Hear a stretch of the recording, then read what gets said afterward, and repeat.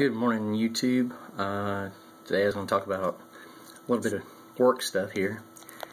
If any of you are like me and you build control systems and uh, you use one terminal brand, well, sometimes the competitors like to come in and you know try to switch you over, and they do like a clean clean sweep.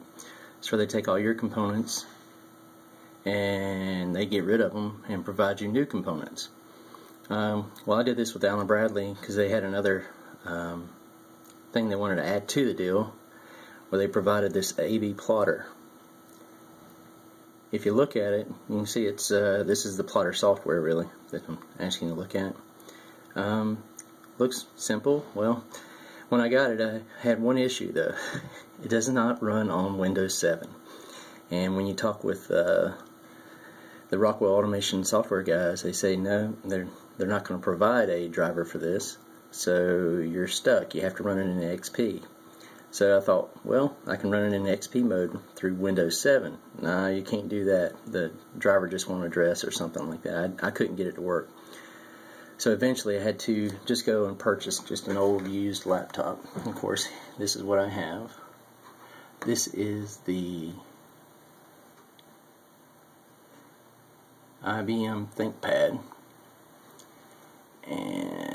Where's my software? Okay, if you go up here, this is the software, this AB plot software.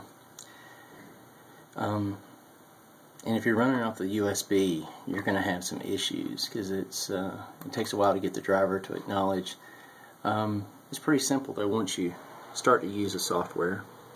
You see you just go through and pick the terminal that you're going to use, hit OK, and then go back over here, click on this, and so I'm going to make a whole blank of, let's see here, Z for my terminal numbers or letters.